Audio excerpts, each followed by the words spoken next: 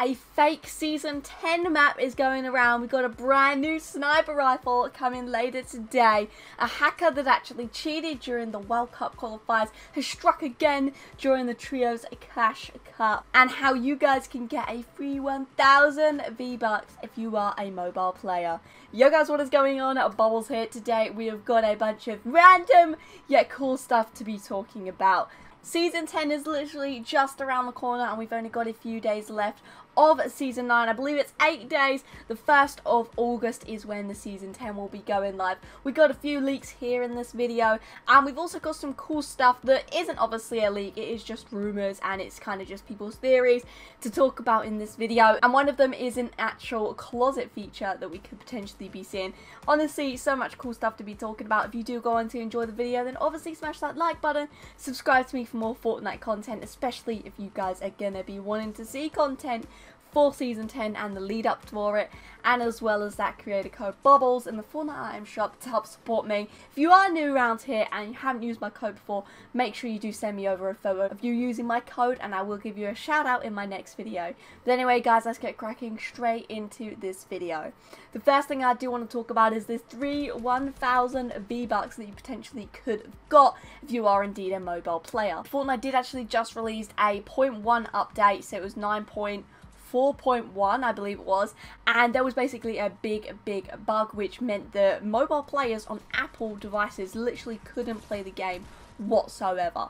So obviously this was awful. I think it went on for about a day or two even, which doesn't seem like a lot, but you imagine if you're a PC try hard player and you're playing all day every day and uh, and then you can't play for a couple of days. That's a big deal. So yeah it was Fortnite's way of apologizing and saying sorry you couldn't play. They did indeed give 15 tiers free as well as a thousand V-Bucks pretty damn good offer. I did log in to check to see if I got the 1000 V-Bucks because uh, I would love me the 1000 free V-Bucks. But no, I didn't because obviously during that duration of time, I had logged onto my PlayStation account. So Fortnite were like, nah, you played our game, you ain't getting no 1000 V-Bucks. So yeah, sad times for me. But for anyone that is actually a mobile player and couldn't play, I know a couple of you out there. So yeah, there, there's some free V-Bucks to go towards the Battle Pass for you guys. Now next up here, we have an image of a mini-map leak, if that's what we want to call it, for the season 10. Now, this has been going around, there's been rumours, oh my gosh, look, it's a new map. No, it's not. I just wanted to throw this in here to clarify to you guys. Don't listen to these rumours. It is not true one little bit. I'll throw the image on the screen now. This is the image that people have been saying. This is the map, and uh, it's not the Season 10 map. This image here is literally nothing more than a cheat sheet cheat sheets are literally little maps that have been created during maybe every single week that more and more get made during the weekly challenges or maybe even the overtime challenges that we should be seeing in a couple of days. I made a video of all of that stuff so you can go check that out. But for these overtime challenges someone might make a cheat sheet which basically says this is how you do this challenge, this is how you do this, this is the locations of finding all of those areas, that kind of thing. Yes, all this image is, it is not the leaked season 10 image, unfortunately, but at the same time, fortunately, I'm glad it's not because uh, I kind of would like to save that for a little surprise for myself and all of you guys for uh, when season 10 actually does go live. Next up here, we do indeed have the closet feature that a lot of people have been talking about. I found this out on Reddit and I saw it, I read it and it actually, I read it and it actually looked really damn interesting. So someone did indeed post that basically they had an idea where what they wanted to do was create a feature in which they could pick out their favourite character skin with the, their favourite back bling and pickaxe and make a combo basically of items and then they could save it in their, what this is called, what this guy's called it, closet and then saving it maybe you've got 10 different closets say or 10 different slots in your closet and you can save 10 different outfit combos I think this sounds absolutely awesome. Obviously, there's a lot of skins out there which don't have back blings with them or they just don't fit their own back blings and they fit other ones better.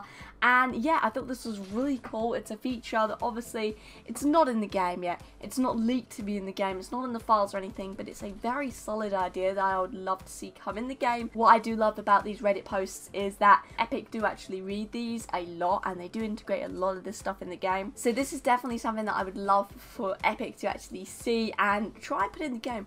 Because I honestly see no downside to it. It honestly would be really damn cool. It would be a nice new feature that we could actually see. Just, you know, doing what Fortnite do best and keeping the game new, fresh, and yeah, honestly, I would be using this a lot, make a bunch of different favourite combos, and it would be nice to just be able to go, right, I want to wear that outfit, I want to wear that outfit, rather than go, right, that one, that one, that one, that one if you get what I mean. But yeah, that feature, like I said, it's not official yet, but let me know down in the comments right now, would you like to see it or not? Simply put, closet yes if you would, or closet no if you wouldn't. Next up here, we got a new sniper rifle that should be coming later today. Yesterday, I did actually make a video, and literally as I was rendering out, I went over to Twitter, and I saw that this gun was in the coming soon area, and I literally thought, damn it, I could have put that in the video. But it's in today's video, a little bit later, but it doesn't matter. It is apparently going live at 1pm today. It's currently 20 to 11, so not too long to go. I'm going to be streaming a bunch later, so giving this thing a go. But what what is this new weapon, basically? It is indeed called the Storm Scout Sniper Rifle. I keep on forgetting the name after keep on reading it, because it's a bit of a long one. Normally, it's literally Bolt Sniper Rifle or something simpler, but Storm Scout Sniper Rifle. So what is the tagline that goes with this? Knowledge is power. Stay ahead of the competition with this weather tracking sniper rifle. Honestly, sounds absolutely sick. How this is going to work, we don't know. It's obviously a weather tracking sniper. So either one of two things. It's simply going to be like a thermal scope and that's going to be it. We can obviously see through the storm that way. Or is it where it's weather tracking? Does that mean then that we're going to potentially see what the storm is going to be, the next location for it? That would be, honestly, really damn cool, and I'd love to see that. Obviously, a few seasons ago now, we did actually have some sort of backpack there was an item, I believe it was a backpack anyway, and you basically picked it up, took up a slot in your inventory, and it actually told you the next location of the storm. I don't think it was in the game for long. I think it was like a couple of days maybe. I don't know if they even re-released it. I think they did. But yeah, it was honestly kind of crazy, and I think it was so OP they literally vaulted it almost straight away, I believe. Uh, I did use it back in the day, though, if I remember correctly. Maybe I'm making all of this up, but I remember some sort of weather tracking backpack. Now we got this sniper, so is this sniper somehow going to be tracking the storm? That honestly sounds really damn cool.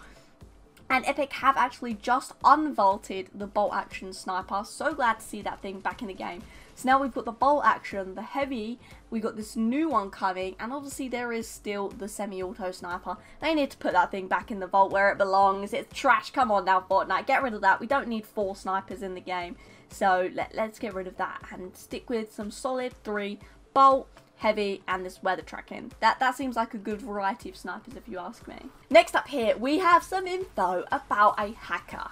Now, this hacker did actually hack and he cheated during the World Cup qualifiers. I believe it was week two and he comes second place and it was found out that he was actually cheating. He was teaming Epic saw this, they banned him, as well as 1,200 other accounts that actually got banned during the qualifiers of the World Cup. Crazy amount of people that were literally hacking and cheating to get into it. Obviously, there's $30 million on the line. I understand why people would want to do it, but why you would do it is two completely separate things. And uh, obviously, I totally disagree with this. He only got a two week ban on his Fortnite account. He can go make another Fortnite account and play on that during the meantime. I honestly really don't see how that punishment was good enough and clearly it wasn't because during the trio cash cup he done it again back at it literally pretty much even in the same location. I've got a few clips here to show you guys. One of them obviously is during the actual world cup and the other one is is during the trio cash cup. I'll put little writing fonts so you guys can see exactly what one it is. There are some other guys talking in these videos. I unfortunately don't know who they are. I just found these clips off of their off of a webpage and I was like, I have to put this in my video. It's crazy how people can literally cheat and not learn from their mistakes and do it again and again. It's not even a mistake though, it's, it's pure just stupidness. It really is. But yeah, enjoy the clips and I'll see you after them. Alright, ready dude? Alright boys, here we are at last game, World Cup Finals. You have Ziff landing at his drop spot. You know, you know, just last game. Just, you know, hey, yo, guys, guys, land on me real quick. I need a couple points, boys. Bad and Muji, one of Ziff's friends, you know, dude, Jesty, who can who could probably land in Polar Peak right now. You know, he's just chilling up here. Ziff lands on this pump. Just, oh my god, man. Ziff lands on this pump. Go to gameplay real quick.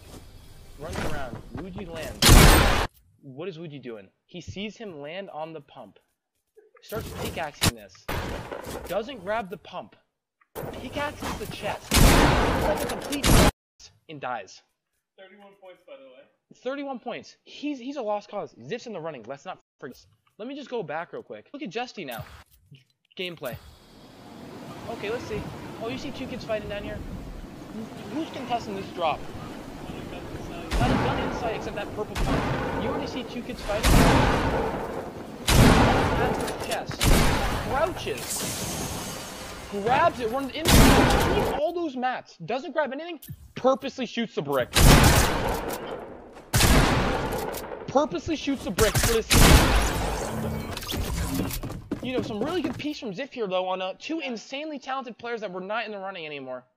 So it appears if he's going for this thing, this drone at first. Uh, Ronaldo's gonna get there first, though. He's gonna get the chest, so like any, you know, normal thinking person, he's gonna turn away because he doesn't want to get killed off spawn. So he's gonna go then where Ziff and his teammate are right here. To this point, his teammate's probably like, yo, dude, I got a guy on me. I'm getting shot, I'm pretty much dead. So if he doesn't want to die off spawn, which is why he avoided the drone, then you'd think that he would just go land in a slip or hit a geyser or something, because there's so many of those things around here and land somewhere else. What does he do? He looks around, sees that there's no gun he can use, still decides to land directly on Ziff with a knock teammate, and goes for the pickaxe. I, I don't know what to think of it. Um, hey, what the f is this? Look at look at this! He's farming points again! That Wait, guy what? Was just on the house! Yo! Wait, wait, what? Zip was Dude, there was guys just dancing on top of the salty house! Yeah, so about that, honestly, like I was saying before, that blows my mind how this guy has continued to literally cheat all the time. It's always been by actually teaming. So basically, what that means is he literally probably pays people to jump into a game, land where he lands, and feeds them him kills to get points, obviously to qualify. And one point is so much during these these qualifiers and that one point is literally one of these kills that he gets and it's just it's just disgusting really. It really does blow my mind. But that is indeed all i've got for you guys today. Quite a lot of cool stuff random stuff indeed but i really enjoyed talking about all these topics in this video. If you guys did also enjoy this discussion today then obviously smash that like button and subscribe to me for more fortnite content.